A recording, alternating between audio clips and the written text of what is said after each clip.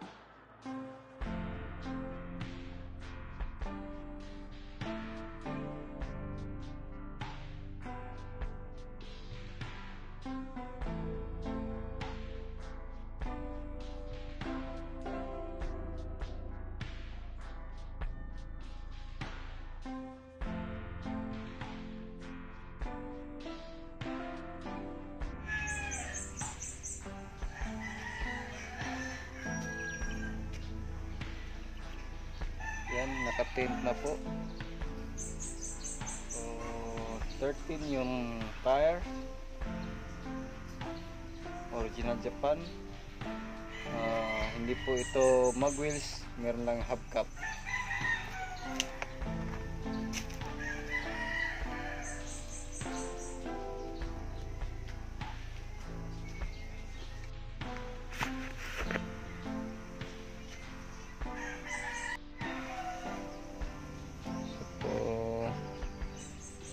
Yung kulay ng ating dashboard, binalik natin sa original. Ayan. So, tingnan natin muna yung mga features niya. Ito yung kanyang rear view mirror or center mirror. Sun bison. Ayan. Then, mayroong compartment dito sa taas.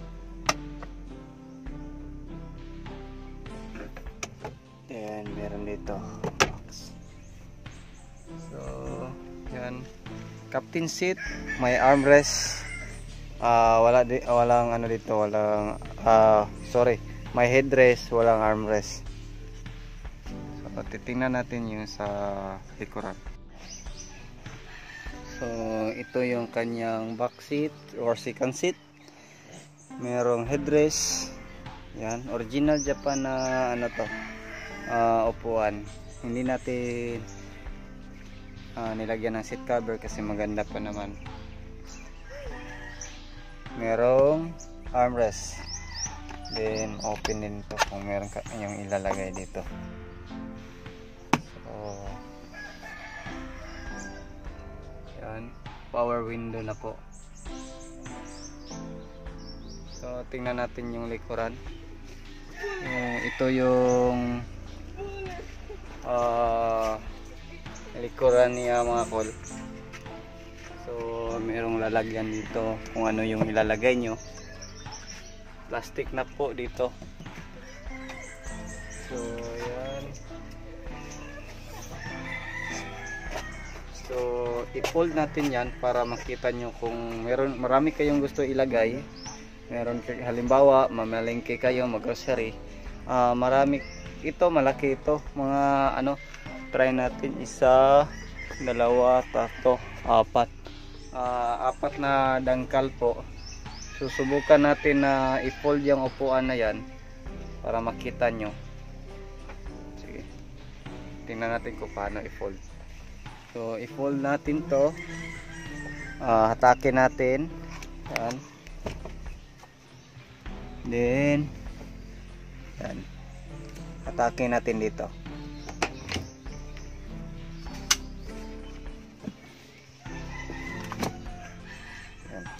Ah, wait. Ah, kailangan natin move. Kasi pwede din ito i-move. Ah, ayan, naka-atras level yan or naka-abante. So, abante natin para ma-fold ng maayos. So, hatake natin dito.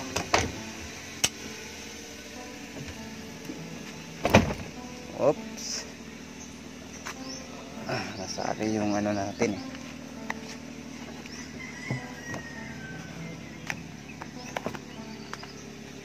So, yan.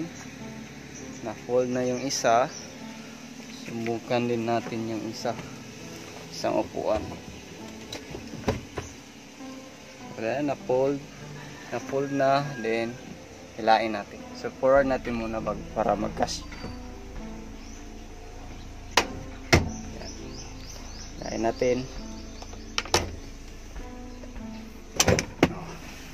So, yan yung upuan natin. Kung marami kayong ilagay. Siguro kasya dalawang motor dito or dalawang bike. So tingnan natin. So yan yung ano natin loob.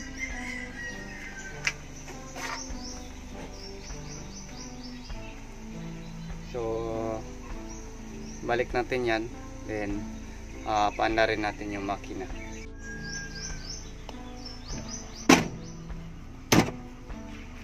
ah, sa kanila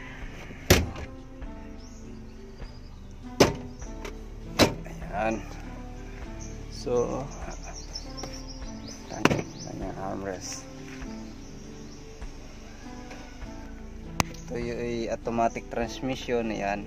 Park reverse neutral drive at saka logger ito yung logger yung handbrake. Yan handbrake.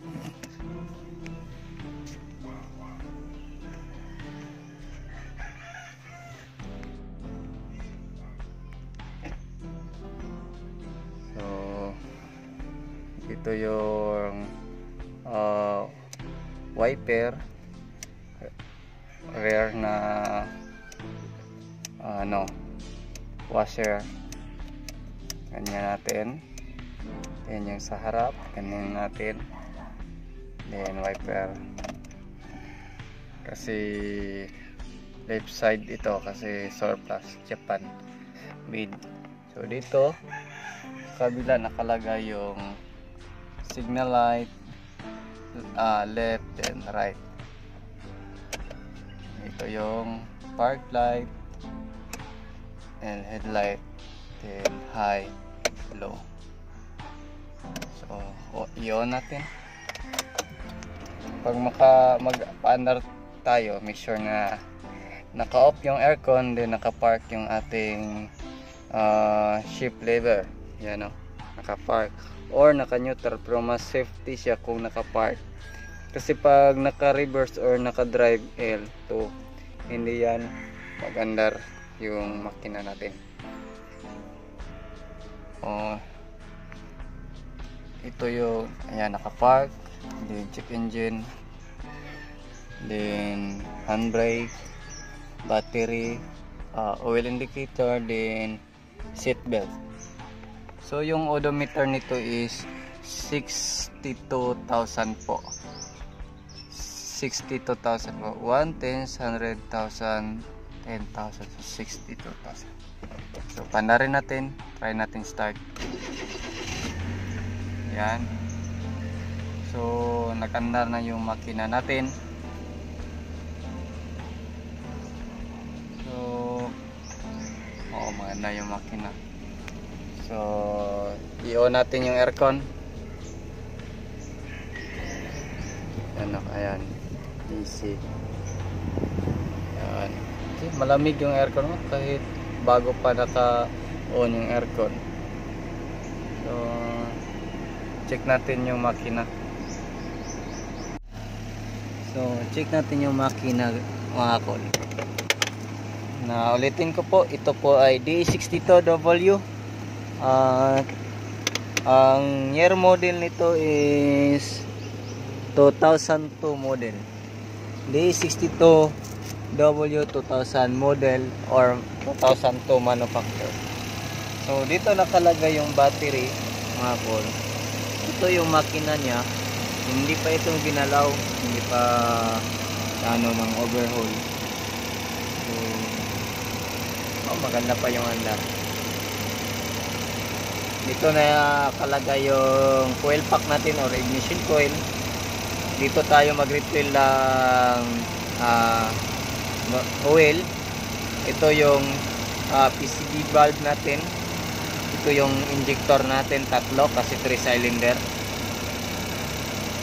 Ito yung uh, dipstick ng ating uh, transmission.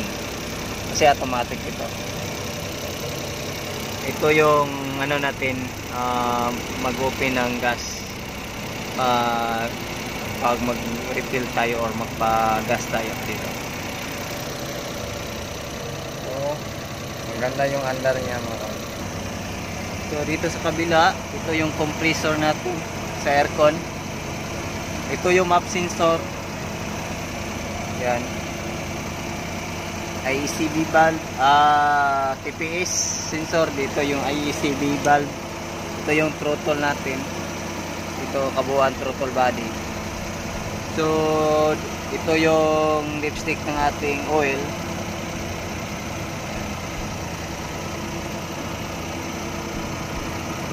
so dito nakalagay yung ating uh, computer box. Ito po yung ano brain ng ating sasakyan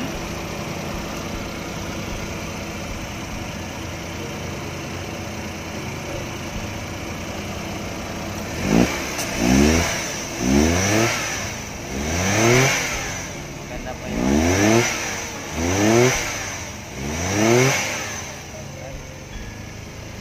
ganda pa yung makina automatic 4x4 yan 4x4 switch.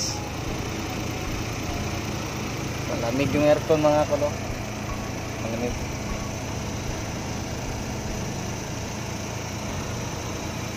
So, ito yung kabuuan ng ating yan. D62W ulitin ko. D62W 2002 model. Yan o may tubig pa na lumalabas sa yung kanyang uh, tank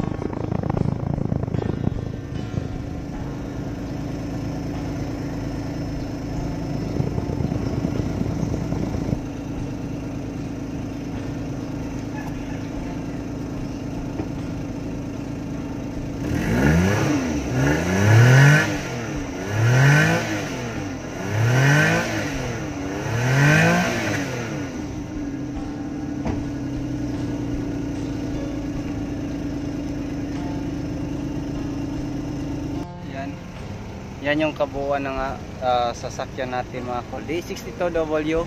Ah, presyo po nito mga kol is 175,000. Ito po yung 117,000 ah, 175,000. Yan. Ulitin ko po D62W.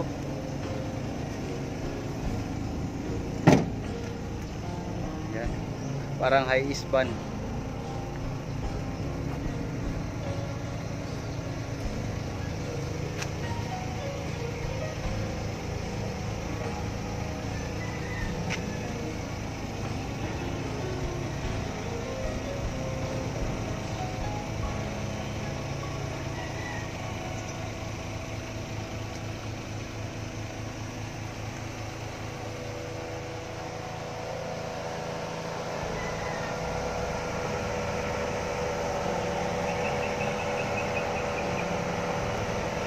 Yun lang mga call. Salamat. Uh, huwag niyong kalimutan i-like, share, and subscribe.